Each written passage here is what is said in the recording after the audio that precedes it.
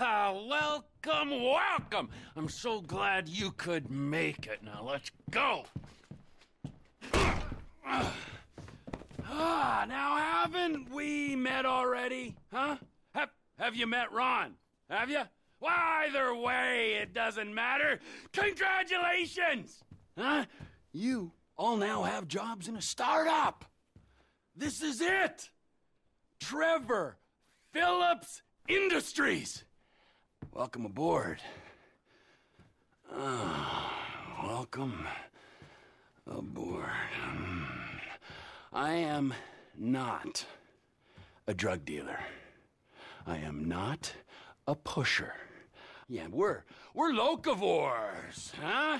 Recyclers! Yeah, we think very green. We take the drugs that already exist in America and we add value to their supply chain.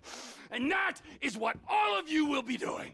Now, first off, Ron, we will be borrowing a couple bricks of cocaine from some juiced up frat boys on a yacht off the coast. Then we are gonna beat the Vagos to their supply of Molly pills. Now, our guys do pickup and trash trucks, and so are you. Then we're gonna be sneaking in to the backyard of the lost MCs. Oh, and then we're gonna take their meds that they've stashed in something. So, there we have it. We're gonna get the meds, we're gonna get the pills, we're gonna get the cocaine, or we could get the pills, the meds, the cocaine. Ah, fucking whatever! You're gonna get it! You're gonna bring it to Ron, and then we're gonna fucking get moving!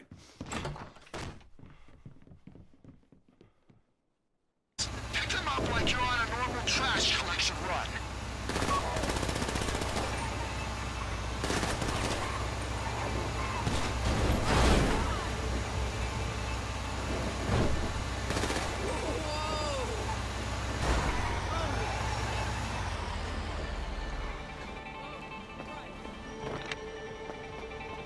Okay, collect the bags and throw them in the compactor and move on to the next one.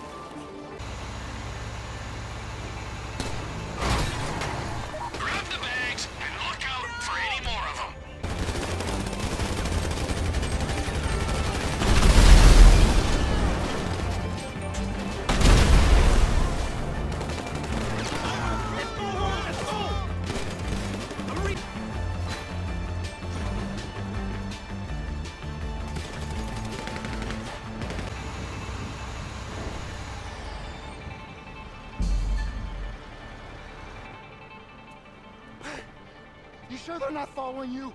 See, the Vagos can go places a U.S. extradition treaty can't. I mean, nice, hot places with beaches that'll otherwise attract a snowbird like me.